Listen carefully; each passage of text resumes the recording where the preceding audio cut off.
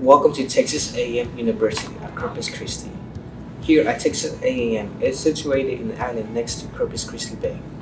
This university opens to all students pursuing a degree that will aid them in their career pathways. Brian Larry Gomaliwano. I'm studying game development and design. What made me interested in this university is that how close it was from home because I was I was born here.